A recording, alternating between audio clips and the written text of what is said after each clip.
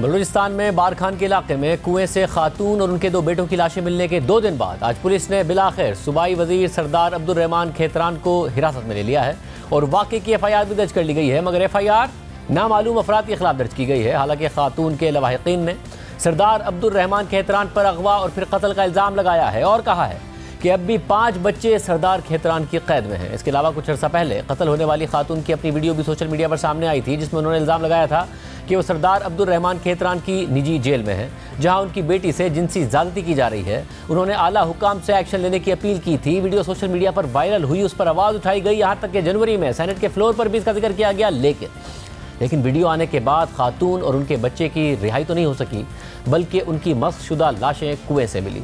और फिर उसके बाद एहतजाज शुरू हो गया। इसके अलावा खातून के शोहर मोहम्मद मरी अभी रूपोश हैं और जियो न्यूज़ से बात करते हुए उन्होंने कहा कि मैं जान के खौफ से रूपोश हूँ। कुएँ से मिलने वाली लाशें मेरी बीवी और बेटों की हैं, जबकि अभी भी मेरे चार बेटे और एक बेटी सरदार अब्दुल रहमान के निजी जेल में कैद हैं।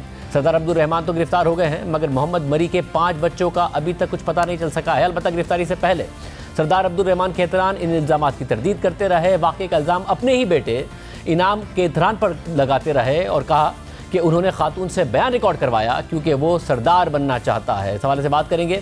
हमारे साथ मौजूद है बलिस्तान के वजी दाखिला जियाउल्ला लांगू साहब। जिया लांगू साहब, बहुत शुक्रिया। ज़ाहिर है, एक इंतहाई अफसोसनाक वाक़ खातून की वीडियो आई, उस पर कोई एक्शन नहीं हुआ। उन्हें मार दिया गया, उनके दो बच्चों को मार दिया गया। अब भी बच्चे लापता हैं, उनके शोहर इल्ज़ाम लगा रहे हैं और बच्चों के वालिद जो हैं कि वो इन्हीं की कैद में हैं। बहुत देर से एक्शन लिया गया एफ़ तक नहीं हो रही थी। अब क्या गारंटी है कि ये इंसाफ ही के लिए एक्शन लिया गया है? सिर्फ़ दबाव में कवर अप के लिए नहीं लिया गया?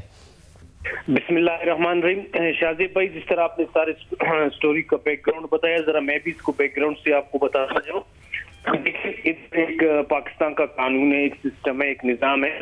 जिस तरह आप हो कि किसी को कोई शिकायत होती है, वो कहीं एफ़ आई आर लॉन्च करता है, कहीं पर कुछ वो सरकार को दरख्वास्त के ज़रिए दरख्वास्त देता है, वज़ीर अला को देता है हुकाम बाला को देता है। सोशल मीडिया की चीज़ें ऐसी आती है, जिस तरह आपने कहा, हमारे प्रोग्राम में, आपके प्रोग्राम में सरदार साहब का अलग एक मौके होता है, उसकी बेटी का अलग एक मौके होता है। हमें किसी ने तहरीरी तौर पर नहीं किया था, लेकिन सोशल मीडिया के आने के बाद मैंने जो है सारे कमिश्नर्स को लेटर भेजा, वज़ीर अला साहब की हिदायत पर कि आपको बलूचिस्तान से मैं बता दें किस डिवीज़न में है। उनके दिसंबर के लेटर्स पड़े हुए लेकिन उसके बाद आ, मुझे जवाब मिला कि नील इधर कोई वो चीज़ें नहीं है। तो उसके बाद जब ये हो गया ये मामला इसके बाद जो लोग वहाँ से आए सरदार अब्दुलरहमान केतराम पर वो लगा रात को उनके कोयटा वाले घर सुबह उनके जो है गाँव में आजीकोट में जो घर है उधर छापा मारा गया था कि बंदित हो सके तो से कुछ नहीं मिला।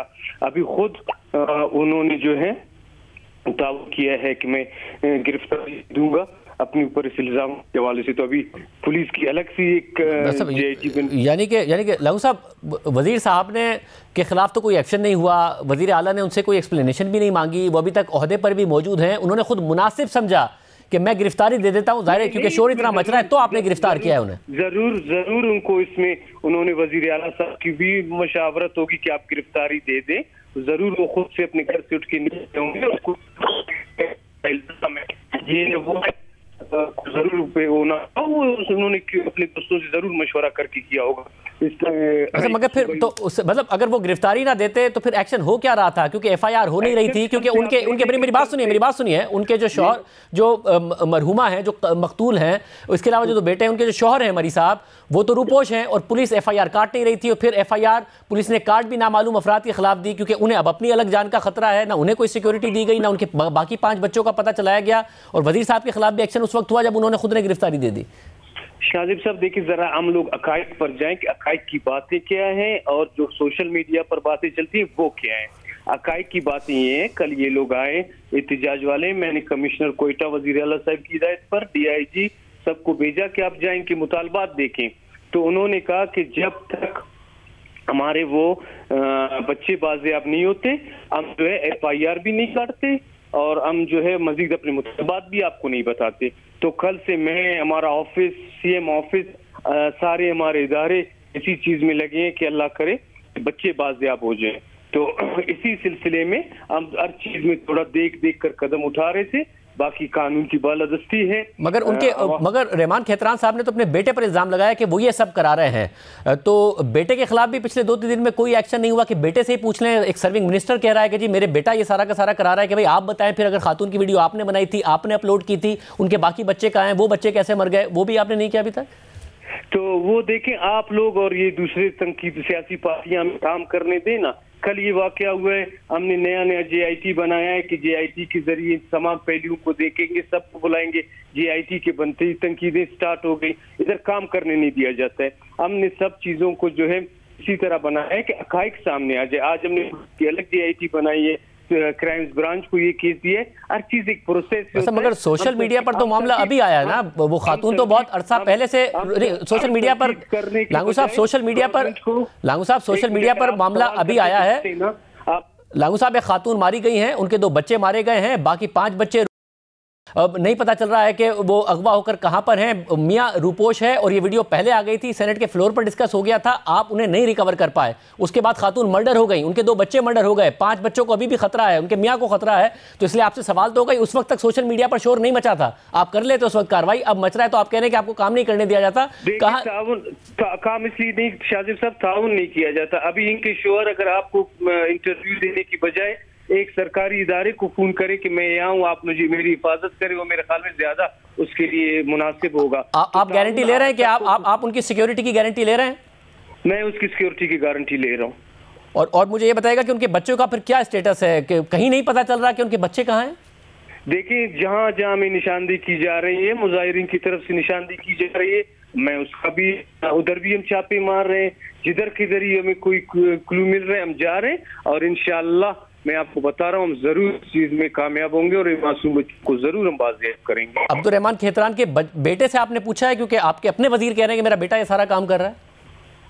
तो देखिए अभी मैं पर्सनली उनसे पूछने का वो नहीं हुई इसमें पुलिस ने। आपसे मुराद मेरी पुलिस है ज़ाहिर वज़ीर दाखिला है। आप आपसे मुराद मेरी पुलिस है। है जीआईटी बनाई है वो भी इसको बुलाएगा ज़रूर उससे तफ्तीश करे जी भी तफ्तीश करेगी और जो अभी पुलिस की कमेटी बनी है क्राइम ब्रांच को भेज गए वो भी ज़रूर तफ्तीश करेंगे। हम थोड़ा इदारों को काम करने दें। लागू साहब बिल्कुल काम करने देना चाहिए मगर इस बात की भी की भी यकीन दिहानी हो फिर कि ये दबाव क्योंकि बहुत ज़्यादा मीडिया पर आ गया तो इसलिए कवर अप करने के लिए अब तो रहमान खेतरान साहब को नहीं गिरफ़्तार किया गया। ज़ाहिर इंसाफ हो अगर उन पर इल्ज़ाम गलत है तो बाकायदा तौर पर शफाफ तहकीकात हो मगर बच्चे ज़रूर रिकवर हो जाएँ। एक खातून और दो बच्चों की जान जा चुकी है। मैं आपको ईमानदारी से बताऊँ ना वज़ीर अला साहब, ना मुझ पर, ना मीडिया का एक परसेंट प्रेशर ना इदारों पर प्रेशर हमें अल्लाह का प्रेशर अल्लाह का प्रेशर हमारे अल्लाह की ज़मीन पर ऐसा कुछ हुआ है, हमें अल्लाह को जवाब देने, उसके प्रेशर ना मीडिया के प्रेशर ना हुआ अल्लाह को जवाब देने कुर्सी पे बैठे हैं, किस कहीं जुल्म हो तो उसका कोई हमसे पूछने वाला है। तो वज़ीर अला साहब ने कल से ही यही कहा है कि आप लोगों ने इस दुनिया से हटकर अल्लाह को भी जवाब देने इधर भी आवाम को जवाब देना है आवाम ने आपको बिठाए इस इस तरह के केसों में कोई कंप्रोमाइज नहीं। और खेतरान साहब एज ऑफ़ नाउ भी वज़ीर हैं गिरफ़्तार हैं मगर वज़ीर हैं?